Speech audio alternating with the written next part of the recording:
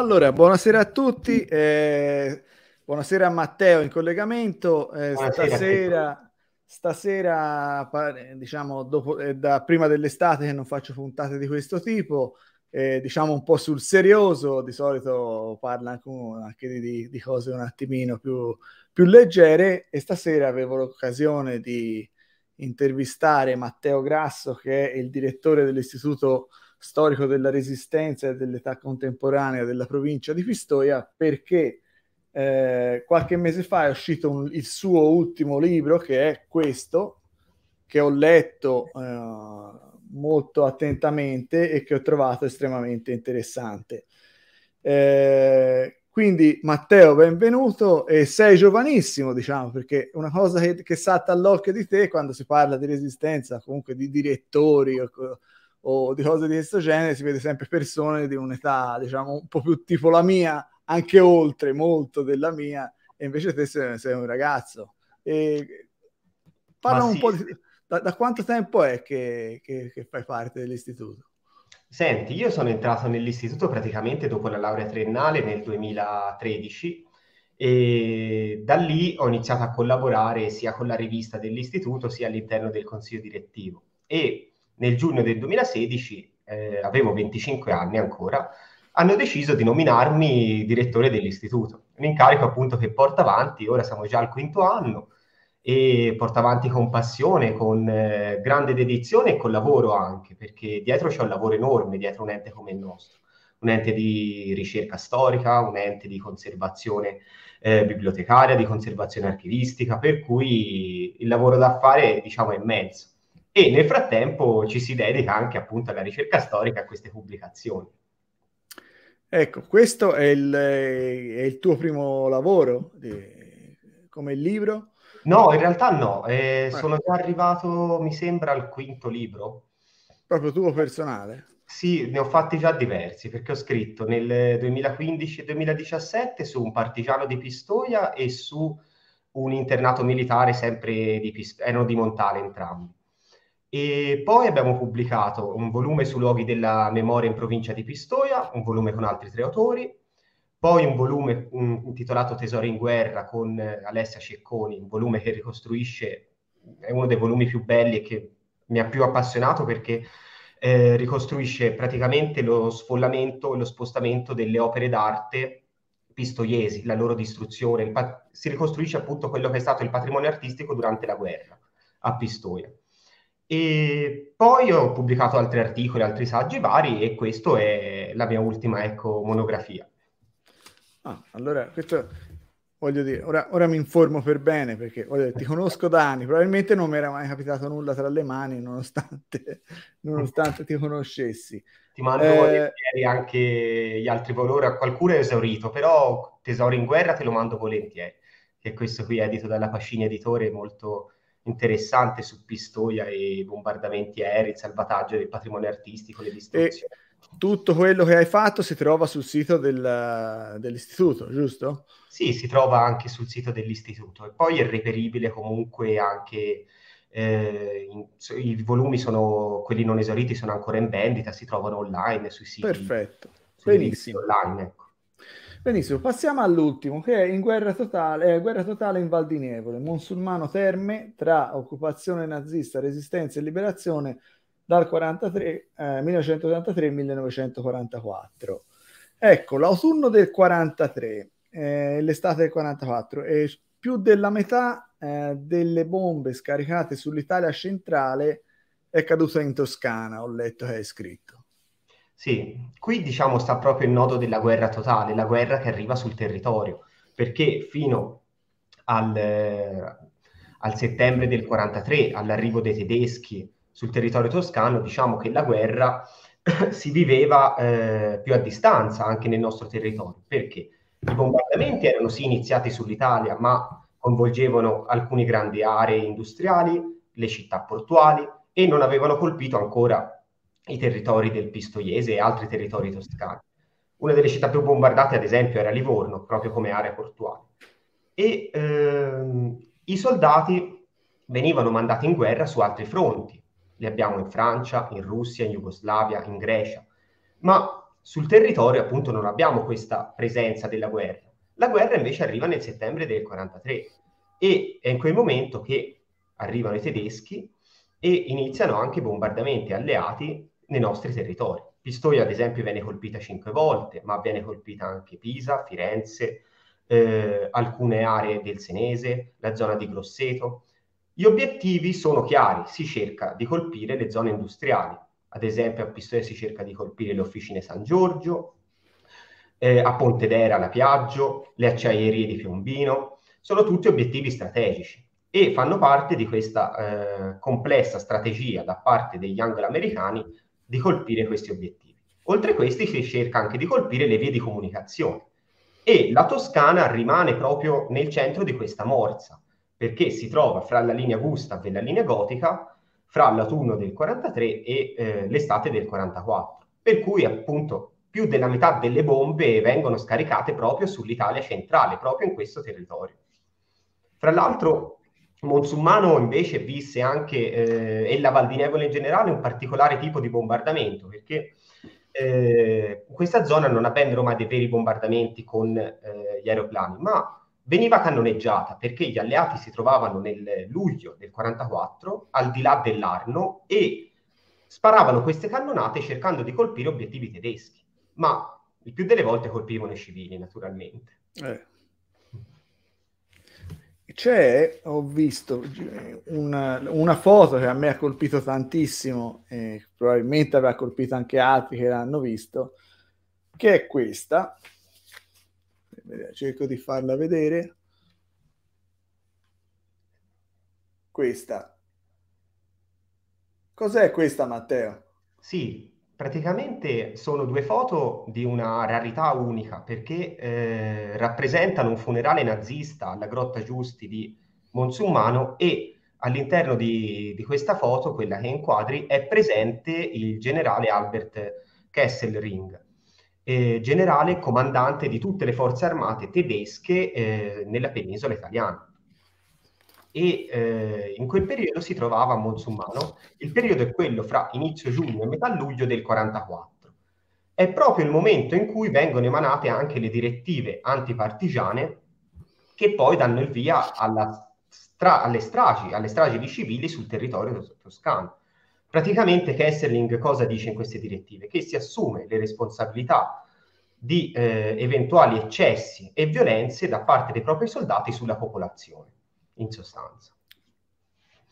E sono foto, secondo me, bellissime anche perché è stato difficile recuperarle. L'ho, trovate, fra l'altro, ce l'aveva in casa un cittadino monsummanese ah. che si ricorda di averle ricevute, prese da un museo situato nel nord Italia in maniera generica, per cui non sappiamo queste foto come hanno fatto ad arrivare in Italia. Sicuramente sono scattate da tedeschi perché comunque si tratta di un funerale nazista, però è una curiosa vicenda che poi siano arrivate appunto nelle mani di un cittadino musulmanese e da lì attraverso le mie ricerche sono riuscito a recuperarli. Ecco, io eh, come appassionato di storia, come sa, eccetera, eh, dico spesso alle persone, se avete nonni o parenti o comunque eh, eh, persone st- che hanno vissuto la guerra a volte sono in possesso di, di, di cose o di, o di, oggetti di un valore incredibile anche dal punto di vista culturale e eh, chiedo sempre alle persone di, di portarle a, almeno alla luce o di farle conoscere attraverso istituti come il vostro o, o cose del genere. Eh, stragi in Toscana sono 4.438 eh, vittime in 817 episodi, eh hai sì. scritto, che sì. sono un, un'enormità. Esatto. I dati sono tratti dalla recente ricerca dell'Atlante delle stragi nazifasciste e eh, la Toscana è la seconda regione più colpita in Italia. La prima è l'Emilia-Romagna con 4.500 vittime e la seconda è proprio la Toscana. L'Emilia-Romagna che fra l'altro ha, eh, fra le stragi annovera anche eh, Marzabotto poi. Sì. La Toscana invece è colpita perché eh, si trovano tre delle cinque stragi più grosse in Italia. È una scia di sangue che parte a fine giugno del 44 con Civitella in Val di Chiana. Sì. poi raggiunge Sant'Anna di Stazzema il 12 agosto e infine il Padule di Fucecchio il 23 agosto. Oltre le stragi più grandi sono queste tre, poi Marzabotto e le fosse ardeatine sì. a, livello, a, livello, italiano. E sono numeri impressionanti perché oltre eh, alle vittime, in tutta Italia saranno circa 23.000 le vittime civili, abbiamo anche poi la distruzione di intere famiglie, di interi nuclei familiari. Ne è un esempio lampante il Padule di Fucecchio, persone che poi hanno visto perdere, eh, hanno perso fratelli, sorelle, genitori, certo. nonni, per cui questa disgregazione totale delle famiglie colpite, persone che poi durante tutta la vita, eh, i superstiti, sono, diciamo, hanno ricordato sempre quello che hanno vissuto in questo periodo, per cui secondo me la maggior parte dell'attenzione va posta anche su, su questo, sulla disgregazione proprio delle famiglie.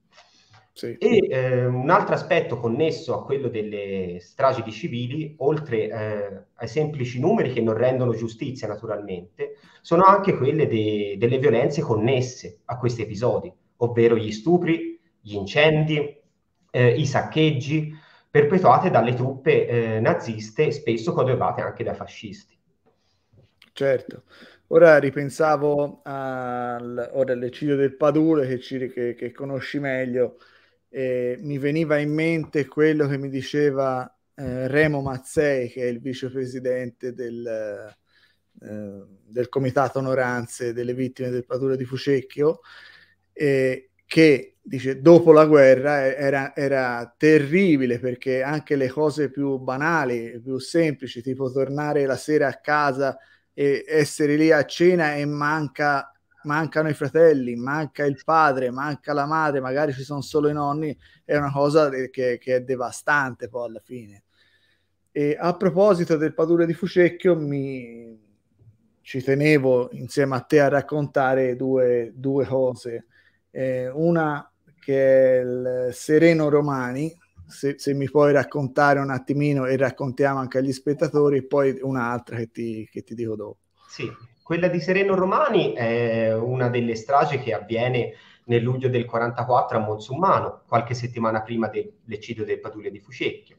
E eh, la casa di Sereno Romani si trova proprio ai margini del Padule, si trova in una frazione di Monsummano, a Cintolese, e la classica casa colonica, in cui eh, sono presenti lui, suo fratello, le sorelle, eh, le figlie, i genitori, per cui classica famiglia allargata colonica, probabilmente erano mezzadri, eh, nella Toscana dei metà anni 40 e eh, all'interno di questa casa colonica una sera eh, alcuni soldati tedeschi vanno per eh, cibarsi e per bere. Dopo aver bevuto parecchio iniziano a, in, a opportunare eh, alcune delle donne presenti in, in famiglia e la loro insistenza è forte, arrivano quasi a violentarle. Per cui il fratello di questo signor ucciso, eh, Ugo Romani, impugna un pennato e sgozza uno dei tedeschi. Ora le fonti sono discordi, se l'ha ucciso, se l'ha solamente ferito. Certo. I tedeschi scappano e ritornano in forze. Che cosa succede? La famiglia sapeva benissimo che i tedeschi sarebbero tornati, per cui scappano tutti. Sereno Romani non può scappare perché ha eh, una manumazione fisica, per cui è impossibilitato proprio a fuggire. In casa trovano solo lui, fanno parecchia violenza sul, su di lui, sul suo corpo, infine lo impiccano al granaio del, della casa colonica. E i suoi familiari lo ritroveranno così, impiccato e, in questa casa. Nel dopoguerra, fra l'altro, ci saranno anche delle investigazioni da parte del SIB britannico. Il SIB era lo Special Investigation Branch, ovvero il settore di investigazione appunto britannico che si occupava di, delle stragi connesse ad alcuni territori in Italia. E ehm, all'interno di questa indagine intervistano proprio Ugo Romani, fratello di Sereno, e eh, gran parte di, di quanto raccontato deriva dalle sue dichiarazioni. Ho capito. Un'altra che conosciamo insieme e che ci tenevo a, a parlare di lei anche per rendergli omaggio è, è, la, è la, Tosca, Tosca Lepori che vive un, un, un inferno quel, il 23 d'agosto, ma anche, anche poi successivamente. Eh sì, Tosca Lepori che se non sbaglio è nata nel 1939, e aveva solamente quattro anni perché non aveva ancora compiuto il quinto anno di età. E una volta eh, lei si trovava in Padule con la mamma, con il fratellino, con i nonni e eh, era una delle tante famiglie eh, sfollate in quel periodo con, o contadini o sfollati che si trovavano in Padule, perché Padule pullulava di contadini e di sfollati. Non c'era una grossa presenza partigiana, erano, erano presenti solamente una trentina di partigiani nella zona di Ponte Buggianese, che è uno dei comuni a margini del Padule, ma eh, la maggior parte appunto erano civili, che poi saranno le persone colpite durante la strage. Tosca era uno di queste e la sua mamma cosa fa? Quando inizia a sentire gli spari e le uccisioni da parte dei tedeschi, nasconde Tosca e suo fratellino all'interno di un tronco d'albero. Li mette lì dentro cercando di salvarli. A fine strage eh, Tosca uscirà intatta da questo albero, mentre il fratellino uscirà con parecchie ferite, viene portato in ospedale e poi purtroppo in ospedale morirà. Fra l'altro Tosca io l'ho intervistata anche diverse volte, la conosco benissimo, una persona di una lucidità unica e sì. eh, questa strage ha segnato completamente la sua vita perché poi è stata costretta a vivere col babbo e con la matrigna, se non sbaglio, e una vita piegata dal dolore perché si ricorda benissimo la sua mamma che viene uccisa, si ricorda i nonni che escono dalle capanne incendiate e si ricorda del suo fratellino morto per cui una vita segnata ecco, da, da questa vicenda. Sì. Eh, parliamo, oltre che dei tedeschi, anche dei collaborazionisti eh, con i tedeschi. Eh sì. Diciamo che nel Padule di Fucecchio, al pari anche delle altre stragi, come ad esempio Sant'Anna di Stazzema, Marzabotto, sono stati riconosciuti fascisti italiani, toscani, che hanno accompagnato i tedeschi all'interno del Padule sono stati fatti anche nomi e cognomi perché sono stati riconosciuti sia dalle vittime, sia dai superstiti, sia anche eh, dal, dalle investigazioni appunto del SIB britannico che furono svolte nel dopoguerra. Ci sono nomi e cognomi di chi presumibilmente ha preso parte a questa strage. Fra l'altro alcuni fascisti sono stati riconosciuti anche da Vittoria Tognozzi, che conosci bene anche te, sì. musulmano, da certo. alcuni superstiti di Ponte Buggianese, cioè ogni comune aveva dei fascisti che accompagnavano queste pattuglie all'interno del Padule. E eh, in sostanza non fu, nel dopoguerra non furono fatti processi contro di loro. Molti tornarono alla propria vita, eh, alcuni se li ritrovarono addirittura come vicini di casa, eh, altri non si sono più fatti vedere nel comune in cui abitavano e anche la Vittoria mi ricordo che mi ha raccontato che vedeva tutti i giorni un signore che aveva preso parte alla strage, cioè che aveva preso parte come fascista proprio. Per cui anche questa è una delle classiche vicende che poi nel dopoguerra è stata messa a tacere. Sì, sì, è, è il modo come lo racconti nel, nel libro che colpisce e un'altra domanda del, che mi viene, legge, che, che mi è venuta leggendo uh, le pagine, ecco, gli stupri. Sì. Si, si, sa appros- um, in modo approssimativo quanti e, possono essere stati e in che modo, diciamo così generalmente. Senti, in Padule ho riscontrato un solo caso, è quello di Anita Silvestri nella zona di Larciano. Ci sono state eh, due testimonianze nel dopoguerra, una da parte del fidanzato e una da parte di un'altra ragazza che si trova superstite che si trovava nella casa dove fu colpita e entrambi eh, il fidanzato riferisce di averla trovata in uno sgabuzzino con le mutande tolte e eh, la, la, veste alzata, mentre quell'altra ragazza riferisce che mh, aveva lasciato il suo corpo eh, morto sul tavolo della cucina con eh, i vestiti e eh, le mutande e di averla ritrovata il giorno dopo nel momento della, seppellitura, della seppellitura senza le mutande e con la sottoveste alzata. Per cui questa diciamo è una, è una testimonianza molto cruda perché eh, probabilmente fu violentata addirittura eh, dopo la morte o eh, comunque mh, dopo essere stata ferita a morte. Per cui, mh, fra l'altro, suo fratello poi nel dopoguerra sposerà una delle la sorella della, de, una delle sorelle delle vittime, fra l'altro, come una sorta, diciamo, di compensazione. E insieme a Christopher anche case depredate tantissime. Sì, completamente. Diciamo che in Padule eh, le pattuglie girano in maniera differente, eh, in ogni territorio girano in maniera differente, perché il Padule è composto da tante case coloniche, per cui i punti di riferimento sono queste, Casa Silvestri, Casa Malucchi, Casa certo, Simoni. Certo. E in, ogni, eh, in ognuna di queste case girano in maniera diversa, perché abbiamo ad esempio il casotto dei pescatori, situato a 150 metri da Casa Silvestri, al casotto dei pescatori uccidono solamente sei uomini adulti, mentre a casa Silvestri uccidono anche le donne e i bambini, come a casa Simoni, come a casa Malucchi. Nella zona di Stabia, che è Cereto Guidi, invece uccidono maggiormente gli uomini, nella zona di Punte Bugianese uccidono invece donne e bambini, per cui abbiamo una eh, complessità anche di comportamenti degli stessi tedeschi e delle stesse pattuglie in Padule. Fra l'altro, in Padule non si addentreranno mai all'interno della, della palude, dove c'è l'acquitrino dove ci sono i canneti alti, perché temevano una presenza partigiana, per cui loro sono rimasti in Gronda e in Gronda hanno ucciso solamente civili. Ecco. Eh, una, una, cosa dove tu hai posto diciamo, l'attenzione e che mi è piaciuta perché normalmente non se ne parla è il rapporto tra civili e alleati, perché di solito eh, l'immaginario collettivo è di vedere il, il passaggio del, degli alleati con il carro armato che tutti, eh, tutti in festa, eccetera, ma in realtà non erano semplicissimi i rapporti con i civili, a volte anche piuttosto tesi.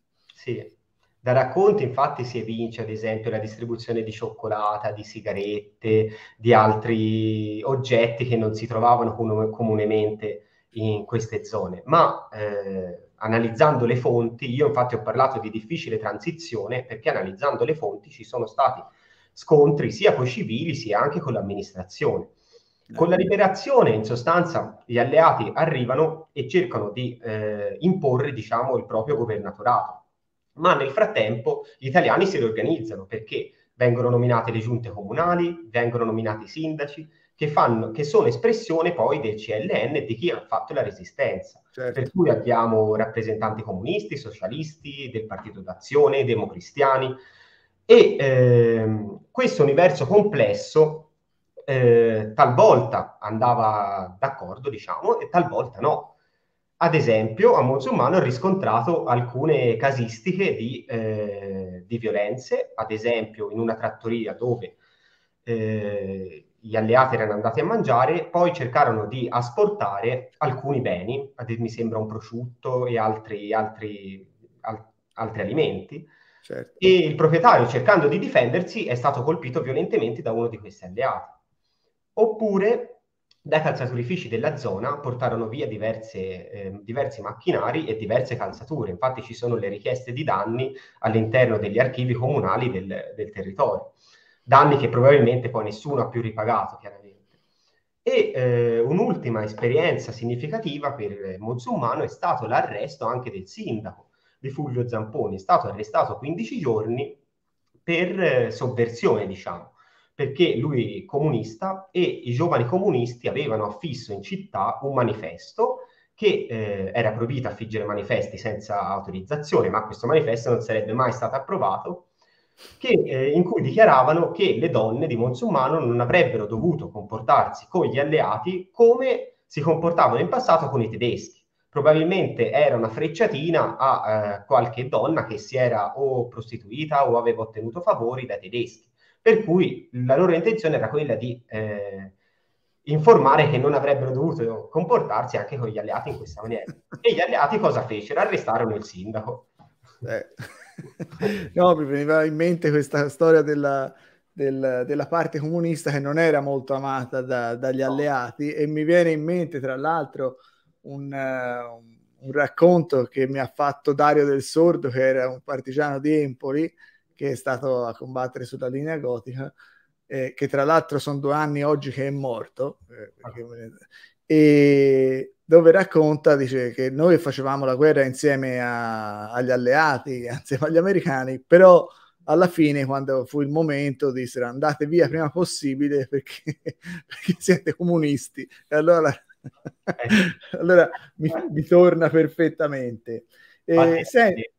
Furono Prego. anche requisiti, una volta conclusa la, la guerra, cioè per il nostro territorio nel settembre del 44 le formazioni partigiane furono smobilitate e furono anche, fu richiesto di restituire anche le armi. Eh certo. Molti invece le nascosero invece che restituirle. Senti, il rapporto di, appunto tra alleati e con uh, le, le, divisioni Stella Rossa, Corallo, sì. eccetera. Sì, a Mozzumano erano presenti queste tre formazioni partigiane che agivano nella zona, nel territorio cittadino, e eh, la Corallo, la Faliero e la Stella Rossa. Diciamo che eh, quella che maggiormente aveva rapporti con gli alleati era la Corallo, che era di ispirazione azionista e quindi legata ai gruppi di giustizia e libertà. Era legata anche all'undicesima zona, i gruppi appunto di Pippo, di Marico Ducceschi, della zona appenninica lucchese, erano legati alla Silvano Fedi di Pistoia, tutti gruppi che facevano bene o male riferimento quel, al partito d'azione a giustizia e libertà, che erano coloro che poi avevano rapporti anche con gli alleati. Per cui la Corallo fornì diverse informazioni perché informò sulle dislocazioni delle truppe e delle fortificazioni nei pressi della linea gotica. Chiaramente le formazioni si spostavano, non è che restavano solamente in città, per cui avevano anche questo tipo di informazioni. E Oltre a questo svolgevano anche attività di sabotaggio e di raccolta armi. Diciamo che però le formazioni monsumanesi non svolsero mai attività diretta contro i tedeschi per non mettere a repentaglio eh, i cittadini, ma si limitavano a questi piccoli atti di sabotaggio, ad esempio eh, inserire eh, sabbia nel, all'interno dei, dei, raccoglitori di benzina, ecco, dei, dei camion, ad esempio, per colpirli, per renderli indisponibili per alcuni giorni, oppure t- tagliare i cavi telefonici.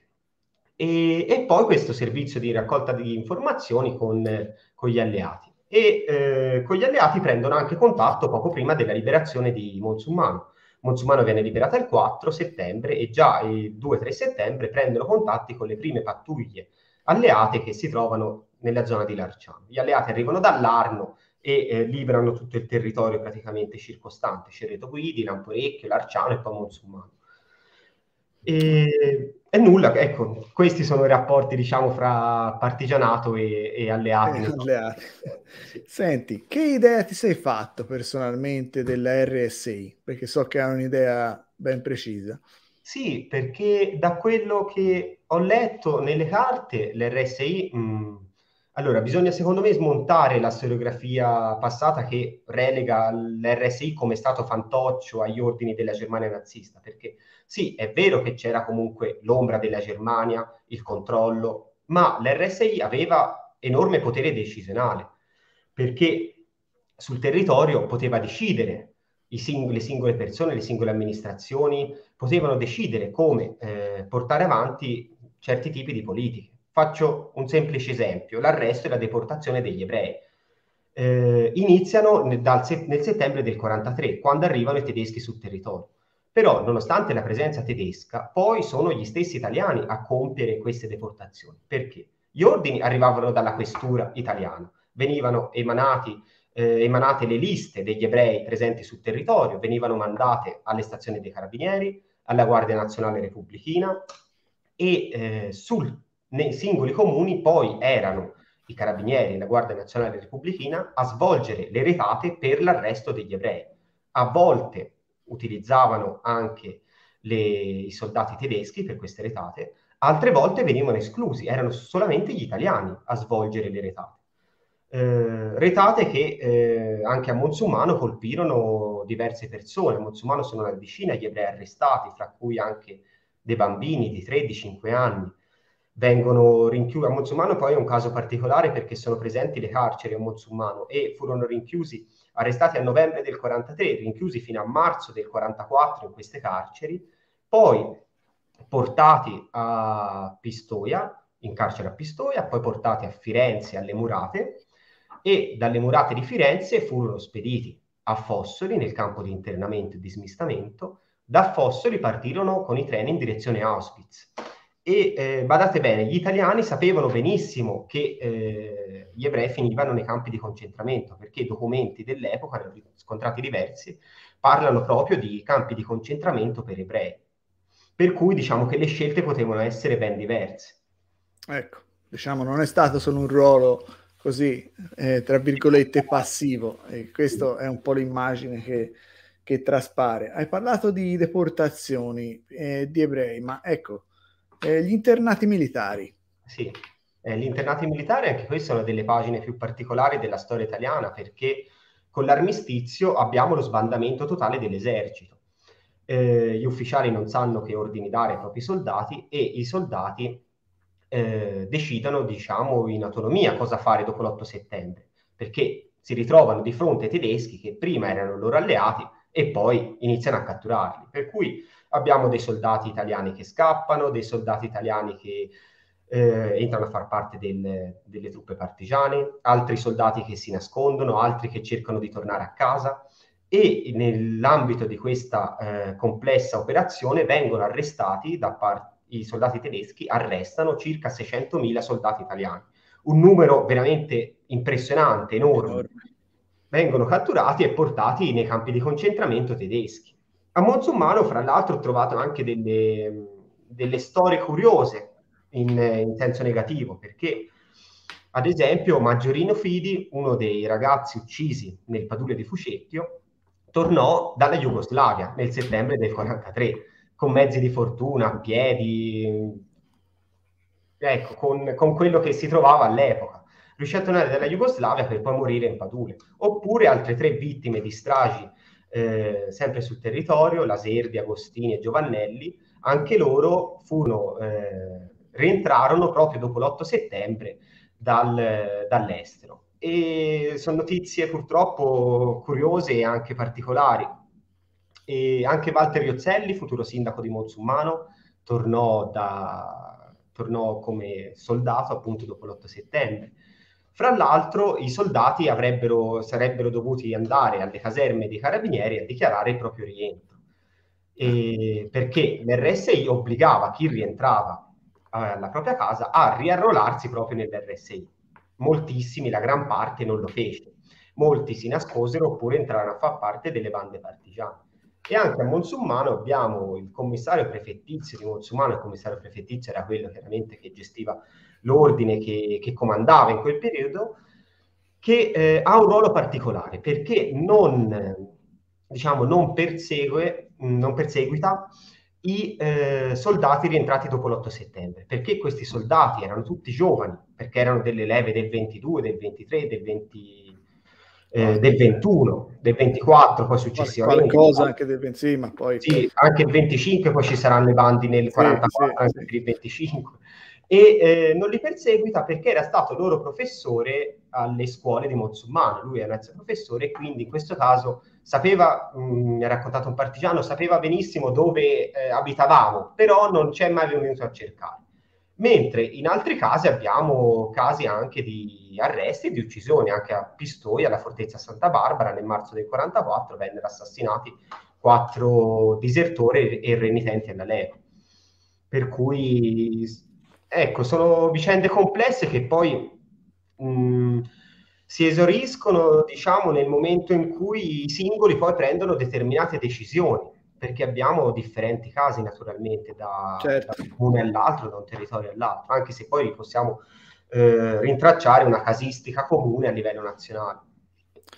E, guarda, tocco anche leggermente un altro aspetto di cui si parla sempre poco quando si parla di, di, di quel periodo, che è il, l'operato del nostro esercito al di fuori dei confini nazionali.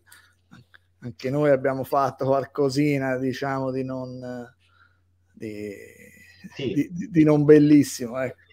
Esatto, diciamo che anche storiograficamente gli ultimi eh, decenni hanno portato alla ribalta con gli studi di, del Boca, ad esempio, che fra l'altro è morto di recente, e con altri studi impo- importanti anche di Focardi e di altri storici, hanno riportato alla ribalta le responsabilità degli italiani all'estero. Si parte già dagli anni 20, perché già dagli anni 20 nel territorio al confine con la Jugoslavia si opera eh, un forte antislavismo, per cui si incendiano le sedi delle, de, come, delle biblioteche e delle, dei principali enti di cultura, di cultura jugoslave, si opera eh, una italianizzazione dei nomi, si opera con violenza nei confronti degli slavi. Poi violenze si rintracciano nel 35 e nel 36 in Etiopia, vengono utilizzati gas tossici, si uccidono migliaia di civili, ci sono massacri anche eh, a livello di numeri come quello di Marzabotto, anche su 2000 civili uccisi in un singolo, in un singolo eccidio. E eh, questi massacri resteranno poi impuniti. E successivamente le responsabilità italiane eh, ricadranno anche in Jugoslavia, con l'occupazione nel, nel 41 della Jugoslavia e eh, anche in Russia poi con le operazioni che si svolgono proprio sul fronte orientale. Anche lì ci saranno violenze, saccheggi, stupri dell'armata italiana che avanza insieme a quella tedesca, prima chiaramente di, di trovare la, la, completa disfatta e di essere costretta a ritirarsi. Ecco, eh, secondo te, eh, ora quando io vado in giro a portare documentari, mi capita nelle scuole, c'è sempre noto un, un grosso vuoto di conoscenza del periodo, di questo periodo di cui si sta parlando Secondo te, e quindi te lo chiedo come direttore dell'istituto, cosa si potrebbe fare di più anche a livello didattico o, o anche in altri settori per accelerare, diciamo, migliorare la conoscenza di questi fatti? Ma secondo me intanto si deve partire da un eh, incremento, cioè diciamo che da una parte è lo Stato che deve farsi garante dello studio del Novecento nella scuola e secondo me dovrebbe farsi garante anche di un aumento delle ore di storia nelle aule scolastiche invece di una diminuzione e eh, di eh, una modifica poi dei programmi scolastici. Quando ho fatto io la, le elementari e le medie, in quinta elementare si faceva la, il Novecento e in terza media si rifaceva il Novecento. Adesso invece, se non sbaglio, dalla prima elementare alla terza media svolgono un programma eh, progressivo che arriva solamente in terza media al Novecento. E eh, oltre questo, secondo me, occorre appunto riformare anche eh, la storia nelle, nelle superiori, perché eh, si studia, a mio avviso, troppo la storia antica, la storia romana, la storia medievale, senza, naturalmente senza nulla. Però... Aspetta, eh, Matteo. Aspetta un attimo.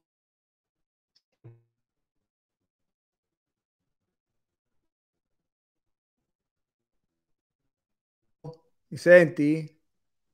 Sì, sì. Matteo, sei, sei andato, sei... mi senti? Mi senti? Mi senti? Io, io ti vedo poco, ma ti sento. Qualcosa sento. Sto controllando, ma eh, il mio internet dovrebbe funzionare bene. Eh, eh, allora, aspetta, eh, mm. provo un attimo. Ecco, ora, ora sta tornando. Riprendi eh, dal discorso scolastico. eh, dicevo che si arriva a affrontare il Novecento solamente in quinta superiore e eh, progetti di approfondimento vengono svolti solamente grazie all'interesse degli insegnanti. Eh, come ti sarà capitato anche a te di andare nelle scuole, anche come istituto svolgiamo tantissimi progetti di approfondimento sulla seconda guerra mondiale, sugli stati, sull'esistenza e anche sull'Italia repubblicana. Però il grosso è che si arriva a fare quel periodo di corsa senza i necessari strumenti poi per eh, divulgare a studenti Matteo, svanisci, aspetta un attimo e facciamo un tentativo, aspetta.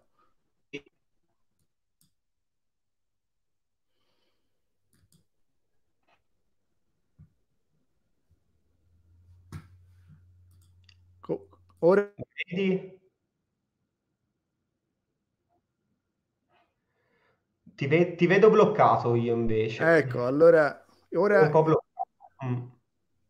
Ora no, ti rivedo, ma... ti rivedo. Ora, sì. Vai, ripro- riprova, vediamo se si finisce questo discorso, che poi siamo all'ultima sì. domanda, perché finiamoci.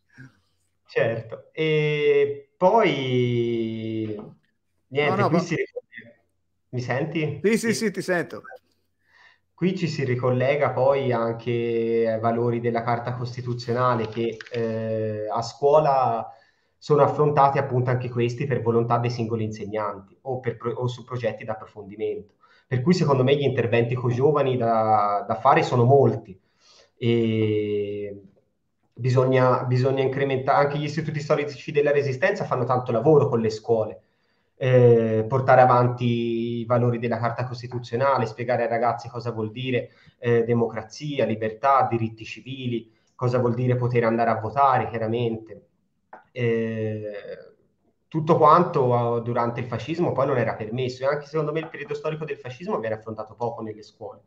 Certo. Ti dirò, eh, anche, alle triennale, anche alle triennali delle universitarie in realtà questi periodi vengono affrontati poco o in maniera sommaria, ecco, ci sono pochi insegnamenti che, che vengono svolti. Eh, la maggior parte degli insegnamenti su mh, particolari periodi storici invece sono alle magistrali delle, di scienze storiche all'università. Per cui ecco, ci occorrerebbe un, un cambiamento a livello nazionale su questo. eh, ti faccio un'altra domanda prima di, eh, di avviarci verso la chiusura.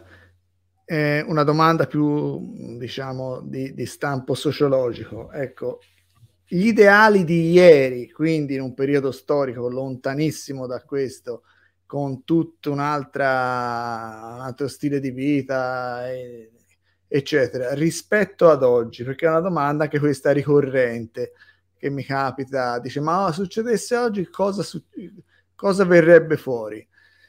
Eh, domanda veramente banale, però che faccio volentieri a, a te che ti sarai sentito fare più di una volta. Ma è una domanda un po' particolare, cioè... Mh mm, quello che chiedi, diciamo, cosa succederebbe oggi nel caso di... Con il benessere, rispetto esatto.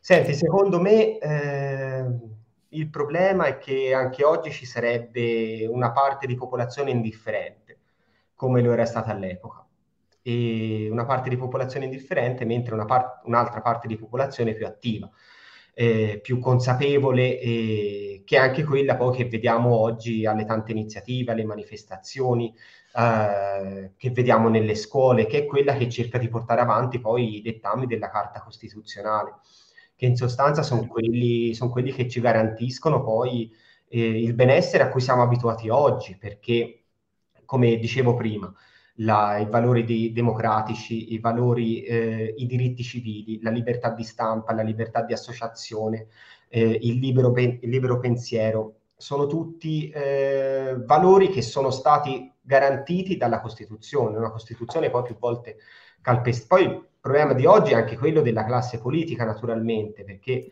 la classe politica, parte della classe politica, cioè, chiaramente non facciamo di tutta l'erba un fascio, utilizza la Costituzione solamente per promuovere eh, o, mh, determinati, eh, diciamo, eh, per, per, avere, diciamo, a certi obiettivi quando viene citata la Costituzione, mentre la maggior parte di volte la Costituzione viene lasciata lì in un angolino e accantonata.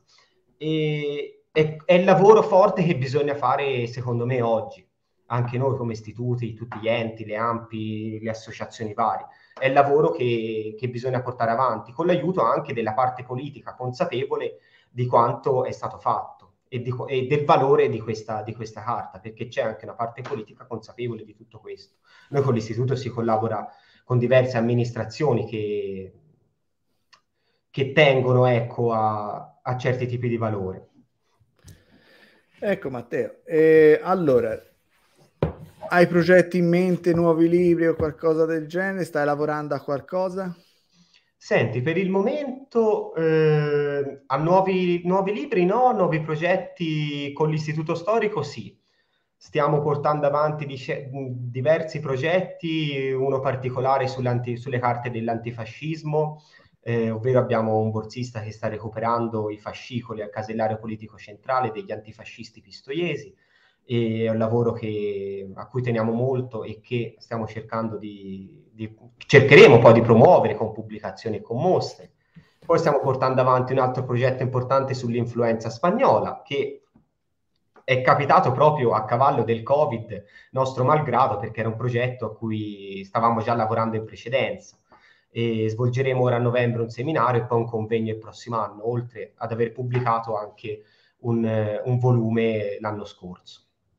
E poi è nostra intenzione eh, pubblicare mh, tre borse di studio è un'idea che ci è venuta di recente in istituto grazie a dei fondi che abbiamo ottenuto dal MIBACT. Siamo stati uno degli, degli enti più finanziati in Italia grazie alle nostre attività. È stato proprio un successo, siamo ottavi nella tabella con oltre 300 enti inseriti eh, Accidenti. a finanziamento, esatto, e ci è venuto in mente di finanziare tre borse di studio in cui le tematiche, ecco, stiamo cercando di individuarle naturalmente all'interno del consiglio direttivo, ma borse di studio rivolte a ragazzi, a giovani, eh, per lo studio di alcuni, alcune tematiche legate al pistoiese. È venuto fuori, ad esempio, come tema eh, la resistenza, gli esuli, eh, gli esuli Giuliano Dalmati, che si sono stabiliti anche a Pistoia, la Shoah e la deportazione, il 68, gli anni 70, per cui dobbiamo certo. fare una cernita poi e, e promuovere alcuni di questi temi. Comunque, complimenti e invito tutti gli spettatori ad acquistare, se, no, se non, non l'hanno ancora fatto, Guerra Totale in Val di Nevole, il libro di Matteo Grasso, veramente, veramente interessante sotto ogni punto di vista. Matteo, io è stato un grande piacere perché, ti ripeto, parlare con qualcuno di più giovane e quando io addirittura mi considerano giovane me, che, che per me è un piacere eh, incredibile spero si possa fare ancora nuovamente degli incontri quando, quando vuoi, insomma io lo faccio certo. con grande piacere e in bocca al lupo per il lavoro a te, a tutto l'istituto, perché state facendo veramente grandi cose, insomma, e lo dimostra quello che hai detto. Grazie mille Stefano e il mio ringraziamento va a te per aver organizzato questa giornata e questa presentazione del volume. Fra l'altro è la prima presentazione che svolgo perché per le varie vicende legate al Covid appunto non siamo riusciti a fare nulla in precedenza e mh, nei prossimi mesi ecco, organizzeremo anche sicuramente qualche presentazione in presenza anche qui sul territorio a Monsummano, all'Arciano e possibilmente anche a Pistoia. Per cui un ringraziamento fortissimo va a te e sicuramente ci incontreremo anche nelle prossime iniziative legate certo. a Cecchio o ad altre. Sì, eh... sì, com- come succede eh, più di una volta. Esatto. Quindi io voglio ringraziare tutti coloro che ci hanno seguito. Eh, ancora un saluto a te, Matteo, e a presto. E Grazie. ciao a tutti. Un saluto a tutti.